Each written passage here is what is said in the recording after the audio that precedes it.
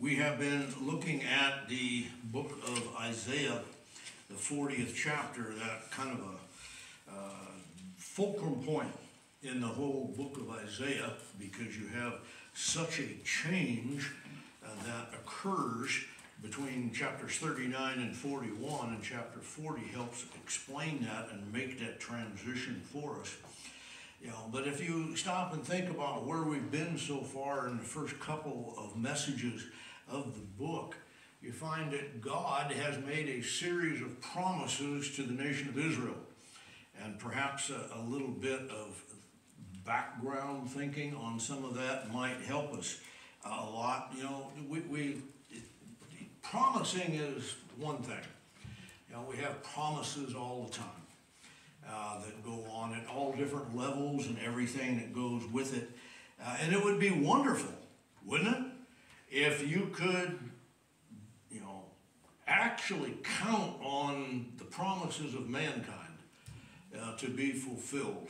You know, a presidential candidate, for instance, promises certain reforms if elected. A chief executive officer promises to the board of directors he's going to bring uh, increased profits, you know, and lessened labor costs and so forth. A husband promises that he's going to mow his wife's lawn uh, next week, or maybe like sometime. You get the idea. You see, and most of these people, at least some level, uh, have a, have some uh, sincerity, uh, some good intentions, you know, uh, concerning carrying on and fulfilling the promises they've made uh, to the different people involved. The, uh, but oftentimes, as we all know, promises are not kept. There's a, a breakdown there, isn't there? Uh, now, that may be for a variety of reasons. It could be a lack of power.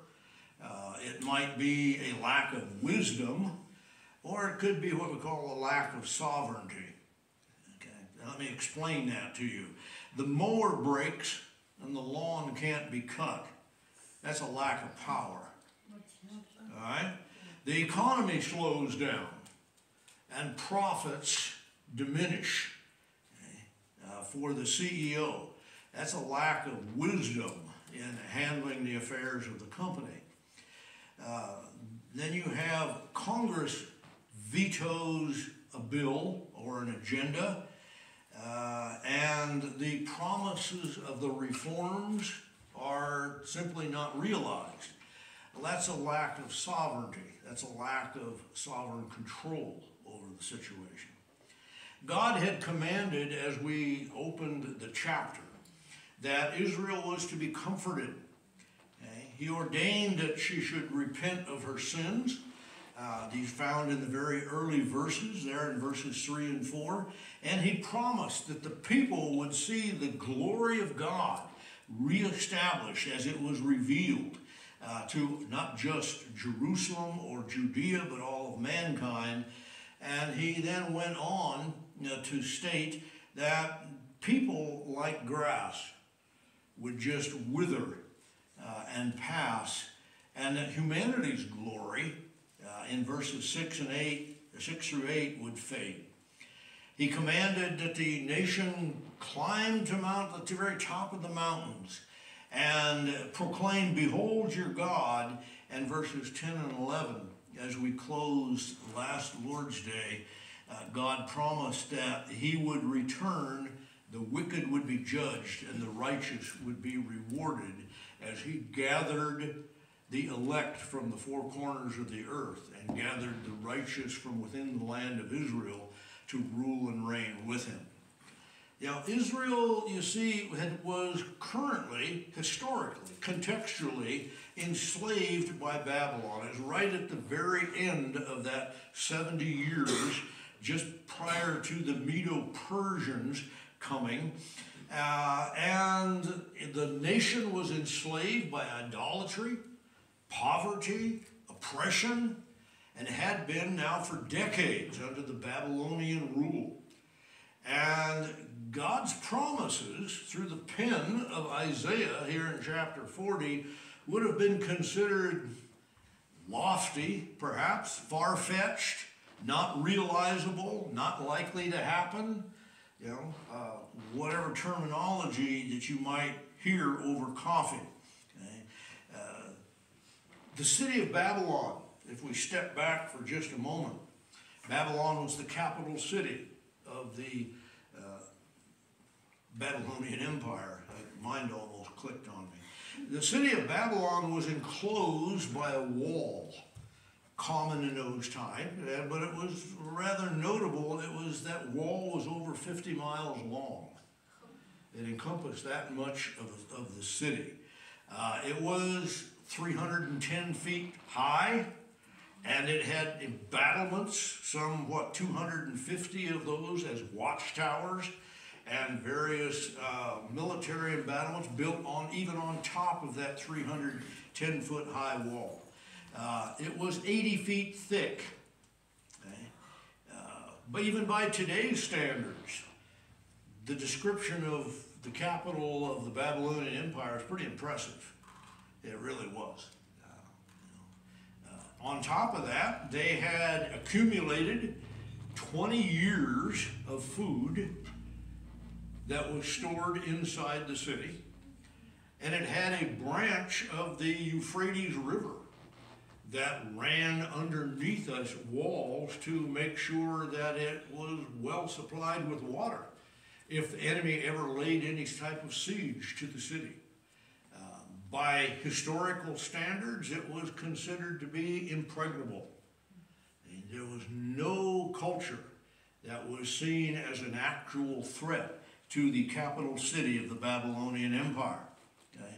And when you stop and think about it, can you uh, then, you know, really, you, you, should be able to kind of identify with King Nebuchadnezzar of the day, of Daniel's day, uh, that went up on his rooftop and looked out over the capital city of his empire and said this is it is not this great Babylon that I have built for the house of the kingdom by the might of my power and for the honor of my majesty? Okay. Uh, now, that's what the nation of Israel, in total subjugation to that same emperor, uh, that, and that same empire was facing when God gives his promises through the prophet Isaiah. And they look around and they say, wow, you know, look at everything that is here. God is promising them deliverance. God is promising them comfort. God is promising them restoration, that they will be gathered. And they look at these things and they go, how valid is the promises? Well, promises are based upon the character and the ability of whoever's making the promise, okay? uh, isn't it? And that's what we want to explore. Beginning in verse 12, the uh, Isaiah writes down, because God, as God directs, Who hath measured the waters in the hollow of his hand, and meted out heaven with the span, and comprehended the dust of the earth in a measure, and weighed the mountains in scales and the hills in a balance? Who has directed the Spirit of the Lord or been his counselor and in teaching him? With whom did he take counsel, and who instructed him and taught him in the path of judgment or knowledge, or showed to him the way of understanding? Behold, the nations are like a drop in the bucket, and are counted as the small dust of the balance. Behold, he takes up the isles as a very little thing, and Lebanon is not sufficient to burn, nor the beast thereof sufficient as a burnt offering. All nations before him are as nothing, and they are counted to him less than nothing and vanity. I have to point out to you that the passage does go on. Down through verse 26, you have additional illustration of the majesty and the power and the awesomeness of a sovereign God, the same God who is making these promises to Israel. For the sake of time, I'm going to focus in on just these verses that we have this morning, and then we'll see what the Lord brings. Let's talk about the infinite power of God. Did you see that in verse 12? Okay. Who has measured the waters in the hollow of his hand, meted out heaven with the span, comprehended the dust of the earth in a measure, weighed in the mountains and scales and the hills in a balance? you know, the infinite power of God Himself. The Jewish people have been enslaved now for decades to the Babylonian Empire. And they have, uh, by the way, this is largely because of idolatry and their sin, you know, that God has placed them into bondage because they have failed to be obedient to the Mosaic Law covenant okay, of the Old Testament era. Okay? Uh, if you read Ezekiel 11 sometimes, the first half the chapter, you'll find that idolatry was running rampant, the leadership was corrupt uh, and villainous. I mean, you know, you just pick out anything uh, often that we all see right now, currently in our own nation, and you see a very similar type of thing. God said, in essence, in Ezekiel, uh, that if you want idolatry as the norm, he said, I'll show you idolatry. And withdrew his hand of blessing and essentially gave them over to a reprobate mind. Uh, you can read Romans chapter 1, the last uh, hmm, 14, 15 verses, starting with verse 18, and you will find that. Okay? The people during that captivity of 70 years had strayed far from God. God had withdrawn his blessing, not his sovereignty, but had withdrawn his blessing because the people's refusal to walk righteously in, in front of him. Now, the, the purpose of calling back Israel now you see in a series of rhetorical questions, don't you? Did you pick up on that? I trust you did. Yeah. Uh, it, it, in verse 12 it says, Who? Who's done these things? Who has the ability? Who has the power to possibly do everything that is listed in here? You know, the waters, the mountains, the dust, and so forth. The answer, of course, is the God of Israel. The biblical God, the God of Israel. It wasn't the heathen idols that they had been worshiping for some 70 years uh, in any way, form. Uh, it was, uh, and how small, I mean, stop and think about it. How, how you cup your hand together. Okay? Go ahead, give it a try. Cup your hand together. How much water can fit in there? Not too much, is there? You know, it's kind of a slurp slurp and half of it runs down the front of you when you try to drink something that way. Okay? Uh, not much, a very finite, very small portion. God, however, measures the oceans, the seas, the rivers, the streams, the lakes, the ponds, uh, and He has placed them perfectly according to His plan to sustain life throughout the world as we know it. Without water, you know, our world would cease to exist. God's handspan is infinite, isn't it? Stop and think about it. It is infinite. That's what's being described. You know, He placed the heavenly bodies, the sun, moon, and stars, the universe itself, the Milky Way galaxy, into its place just exactly the way He chose to do it. He made them of precise size, each of the planets, each of the heavenly bodies. Uh, he knew their movements, he knew their paths, he knew how they would circle, how they would rotate. Uh, he's got them the right distance to have the right amount of heat to provide gravity, you know, uh, everything that you can think of. And God did this with one handful in the span of his hand. That's the type of God that is the biblical God, the God of our faith. Okay, the measure it talks about. Did you see that? It, uh, it, it talks about who hath measured the waters. Uh, a measure is biblically Old Testament is a third of an ephah. You know, now that's going to really narrow it down for you if you don't know what that is. Uh, think of a bushel basket. Okay, uh, just you know one of the you know just er, like this. That that's about what you're looking at. You know, but he says in contrast, is God has a container that can measure all of the dust of the earth. Now, how small in either bulk or weight is the quantity that can be measured? You know, it depends upon what kind of scale you have, isn't it? You know, if you have one of these little balance scales or a butcher scale, or maybe you've got a bathroom scale, maybe you've got one for, you know, uh, weighing cattle, you know, or maybe even elephants for all I know. There's probably some type of scale out there somewhere uh, for a variety of things, but they're all finite, aren't they?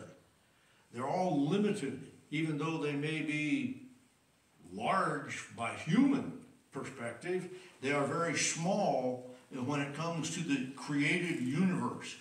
He says, the God of Israel has a scale that he measures mountain chains in, that he drops Mount Everest into. And it, it's a, it's, you know, he hath appointed the mountains in the exact place, the exact size, as he's caused the upthrust and the plate shifts and the at the tectonic level, you know, and all of the volcanic activity that has caused things to rise and fall. And we're just talking about what we see, let alone what covers the floor of the oceans that comprise 75% of the global surface. It's full of mountains and valleys and everything go, that goes with it. Okay? It, uh, the God of Israel is the only being that can measure the immeasurable. Okay? Yes, he can. Uh, beyond anything that mankind can comprehend. So why does Isaiah wind up being used to single out water, the heavens, earth, mountains, and hills as the object. Why didn't God come up with something else? Why did he choose those things? Well, usually we just let these things zip right by. Or we say, well, that's just the general thing, shove it in, boom, go on to the next verse or the next passage. You know, uh, let me, however, provide a bit of historical context. Okay? Uh, water is significant in its historical context. Water ran in the Euphrates River underneath the impregnable walls of the capital city, okay, of Babylon itself. The water was that which sustained life in the for the capital city of Babylonia. I mean, this was everything that was there. Uh, Nebuchadnezzar had built on top of part of the city, on, on a good portion of his palace, that was huge, what the ancients came to know as the Hanging Gardens of Babylon. It was considered by the Greeks uh, as be one of the seven wonders of the ancient world. It was very intricate, very involved, and massive. It had a, a whole system of pulling water by the buckets out of that Euphrates River and winding up getting it clear to the top and watering these acre upon acre, you know, of mountains and gardens that bloomed and blossomed and produced fruit and shade and everything you can think of. You know, water was a very key issue, wasn't it?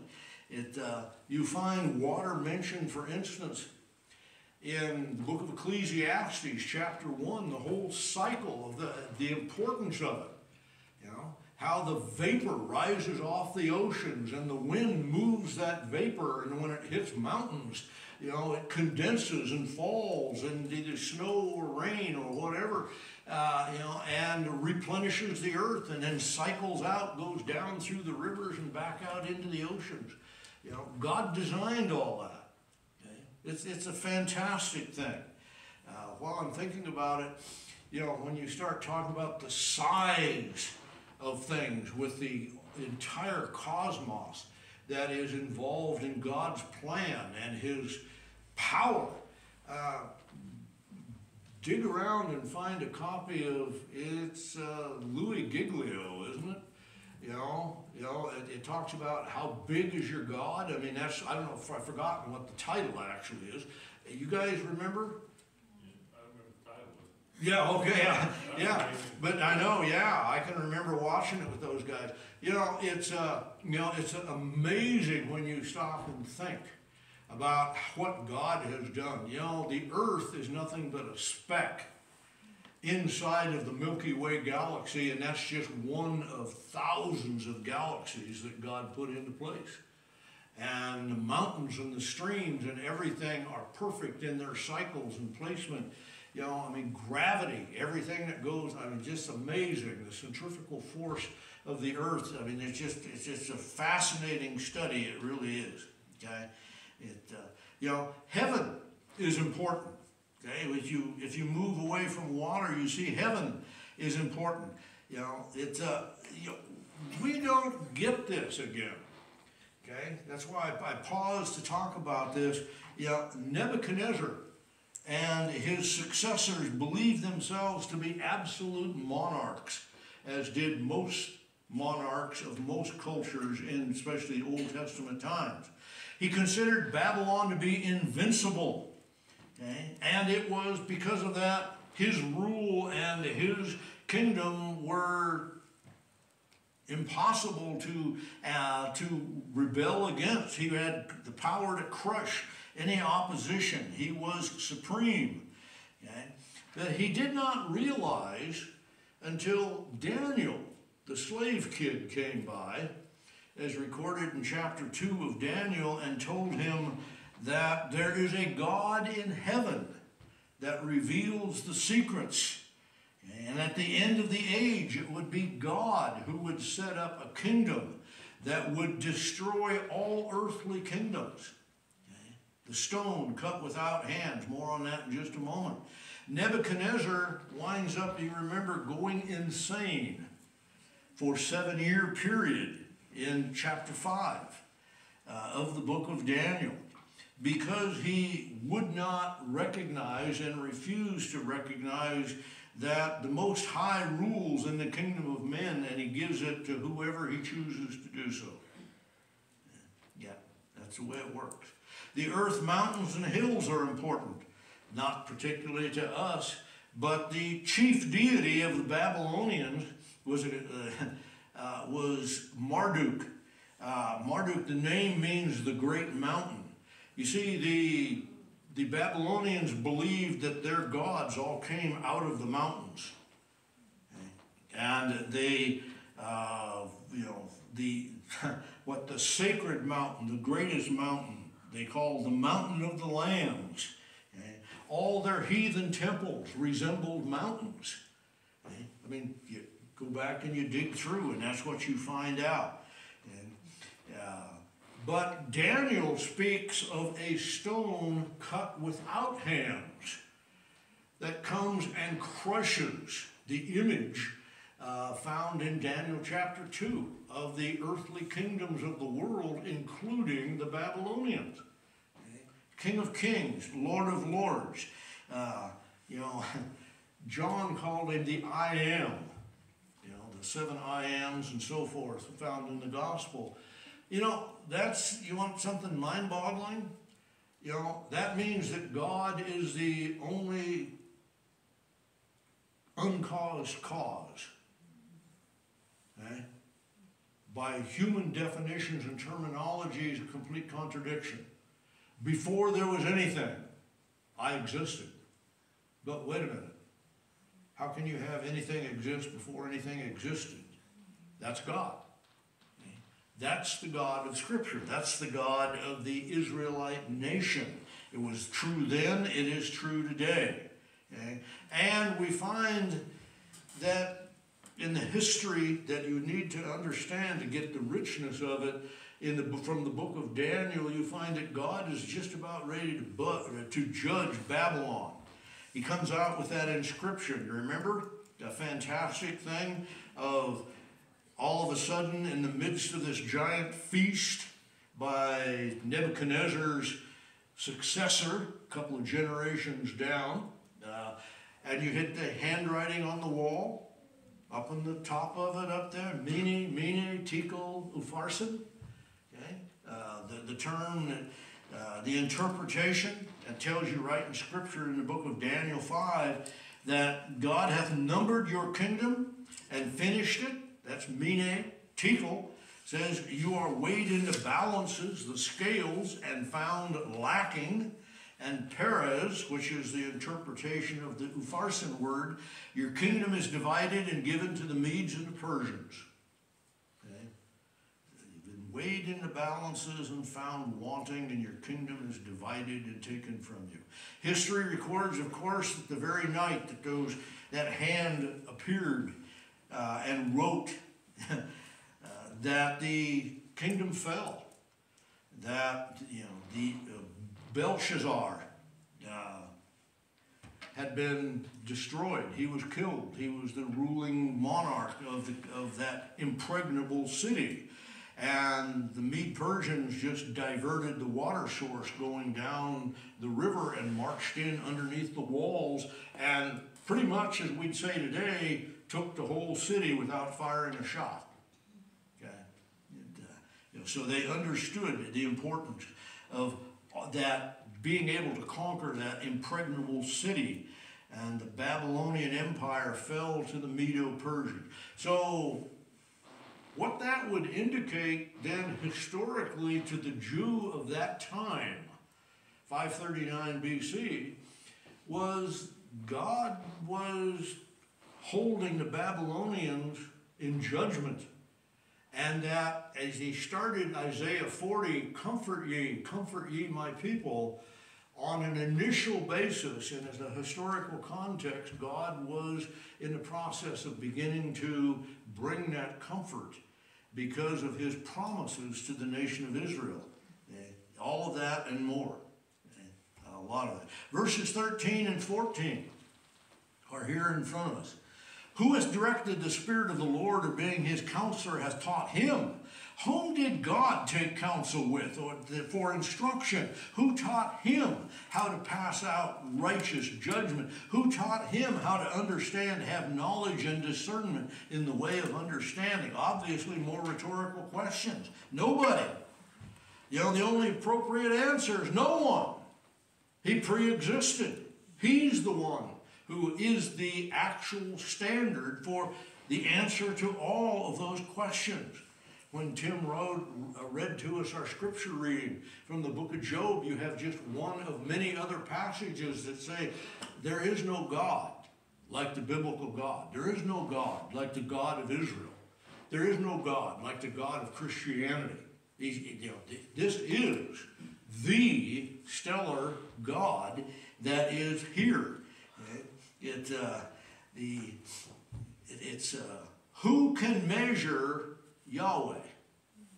Who can measure the God of the Bible? You can't come up with limits. It's just impossible to do so. We can't even imagine terminology that would do that.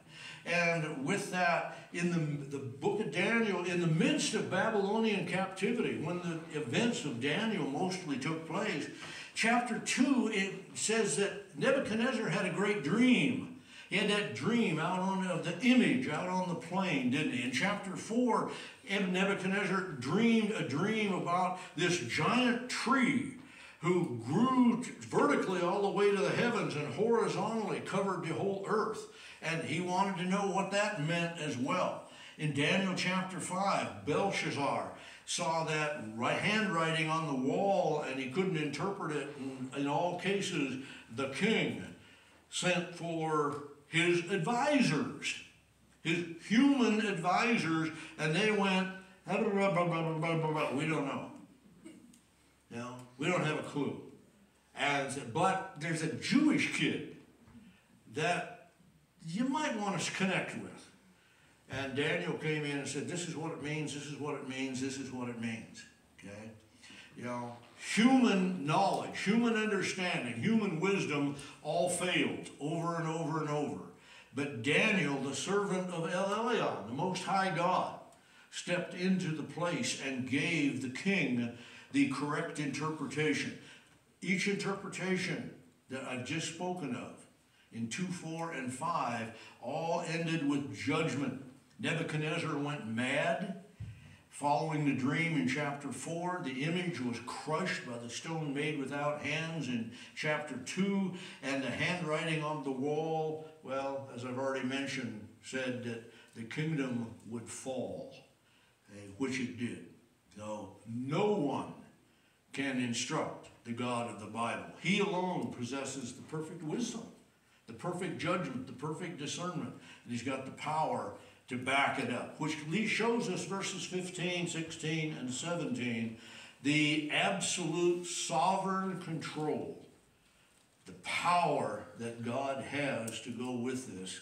Behold, the nations are like a drop of a bucket are counted as the small dust of the balance. Behold, he takes up the isles as a very little thing. Lebanon is not sufficient to burn, the beast thereof sufficient for an offering.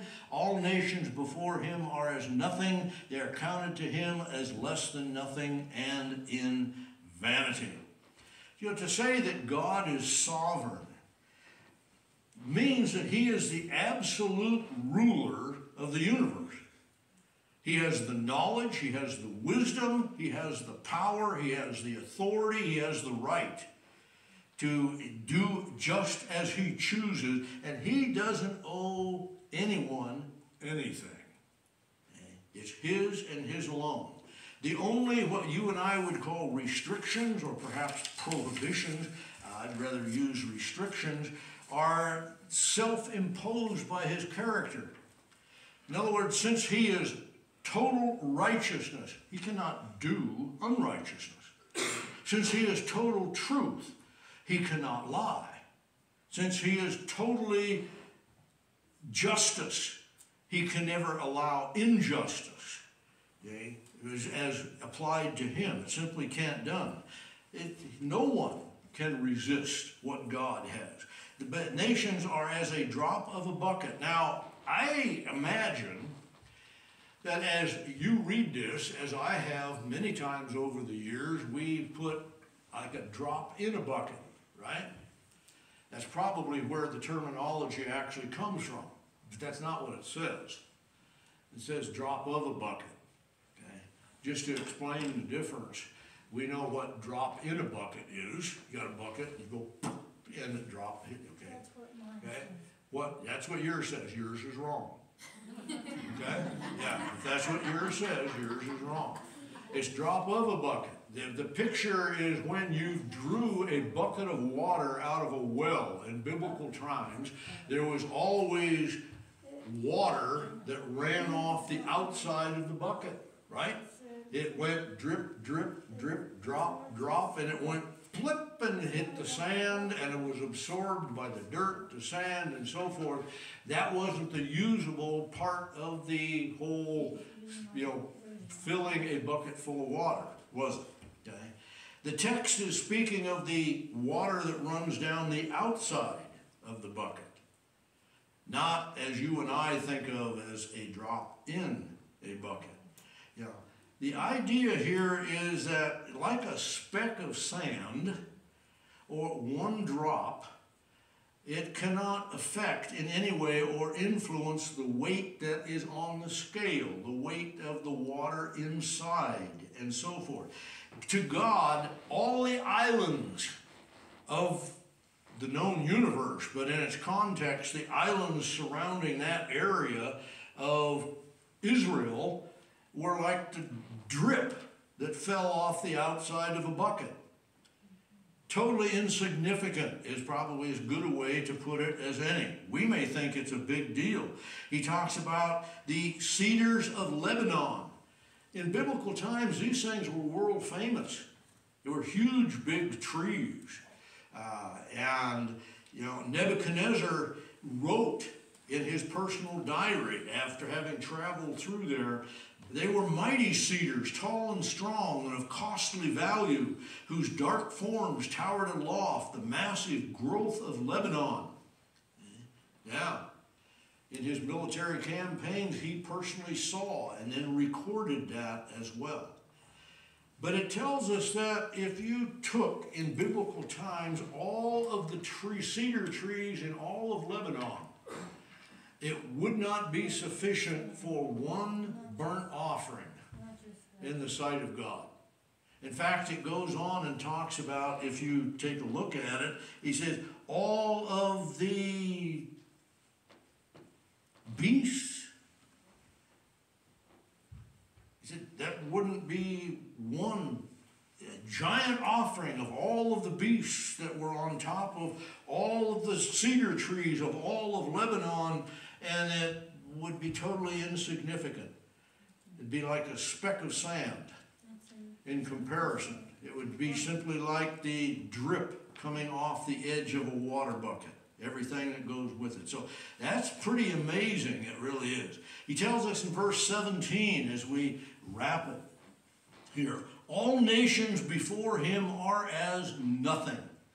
They are counted to him less than nothing and vanity. kind of reminds you of Ecclesiastes again, doesn't it? Vanity of vanity, all is vanity, saith the preacher. Empty, useless, futile, insignificant, of no value. You can pick all that out or put it together or pick out the one you want, and that's what vanity means, the, the biblical usage of that term. It says, all that mankind has put together, all of the stuff that we think is so fantastic and so great and so magnificent, God looks at it and laughs. You know? He says, nah. He go back and read Psalm 2. You've got the same thing regarding that laughter in derision that is there. It's not that God doesn't love any people outside of Israel. He certainly does. We know that for, for, for clearly. But as nationally, politically identified groups, God says they're meaningless. Eh? They think they're really doing something fantastic, but he says they're just like a grain of sand. He says, compared to my power, my sovereignty, uh, nope, not going to work. It says that, on the other hand, Zechariah chapter 2, verse 8 says that Israel is the apple of God's eye. Isaiah 46 says, I will place salvation in Zion, Jerusalem, for Israel my glory. Those of you that have, uh, you know, read Israel My Glory magazine by Friends of Israel, that's where they get the title for that book. Behold, he that keeps Israel shall neither slumber nor sleep. Psalm 121. And that's just a few of many that guarantee God's relationship to national Israel. That's not talking about spiritual redemption. That's in a different subject. But talking about the future and the keeping hand of the eternal God. God doesn't lie. Tells us that in Numbers, tells us that in the book of Titus, a number of other places. You know, he's not like a man. When God then speaks to Israel and promises Israel, he says that even though you are enslaved by Babylon, you will be comforted. This is the God who promised a redeemer. Okay? We look at this time of year, and God, for century upon century, had promised that one would come that would set the spiritual fellowship of man back into its proper place. He gave that promise to Adam and Eve when he kicked them out of the garden. Uh, theologically, he expelled them. But when he kicked them out of the garden, he said, no. He said, I, he said, you won't be able to restore fellowship, but I will be. I will restore. I will send the seed of the woman who will restore. Yes, everything and that and more that is involved. So, in the ultimate sense, we are talking about the future from the time of Isaiah penning this epistle. In its context, historical context, we're talking about the Medo-Persians freeing up Israel from the bondage of the Babylonians. And the Medo-Persian Empire was a lot more gracious and easy to get along with as the rulers of the known world at that time than the Babylonians were. But in the ultimate sense, he's looking clear down through history. And God is laying down that in the future, God is going to restore Israel. And another step in that process was that Jewish baby that was born in that manger 2,000 years ago. Because now you have the spiritual dimension that is brought to the fore. Okay? Emmanuel, God with us. Wow, fun stuff to see all of these things like a giant jigsaw puzzle all snap into place. And you begin to see a much broader, richer, more colorful picture when you even look at the writings in Isaiah chapter 40.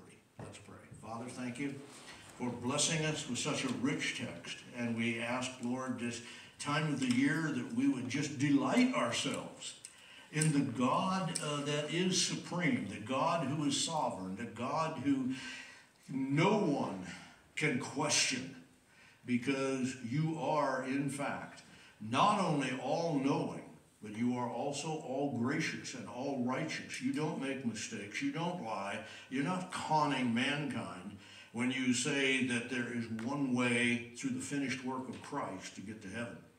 So we praise you for watching over and guiding, and we ask, Lord, that this Christmas season might be a little richer because we understand Isaiah 40 a little better. In Christ's name, amen.